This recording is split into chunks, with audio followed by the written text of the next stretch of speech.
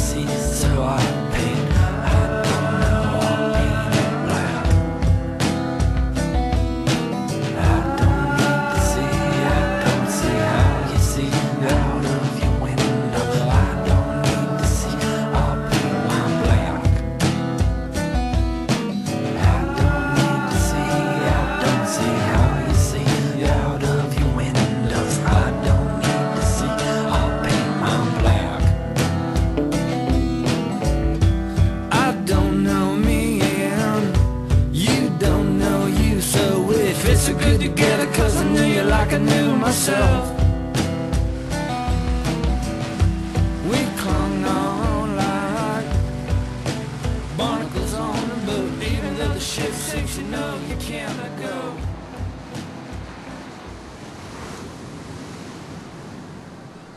Hey, uh,